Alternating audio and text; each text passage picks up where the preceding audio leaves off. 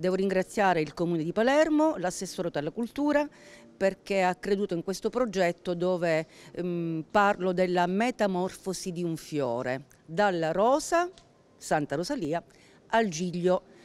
Padre Pino Puglisi. Infatti, giorno 12 canteremo davanti alle spoglie in cattedrale di Santa Rosalia e giorno 15 eh,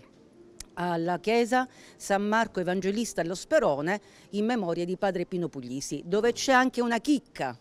un grande mm, maestro mm, della pittura di, di Murales, Igor eh, Palminteri, Scalisi Palminteri, con Donuco di Marzo, inaugurano il giorno del nostro concerto un grande murales che si chiama La metamorfosi di un fiore.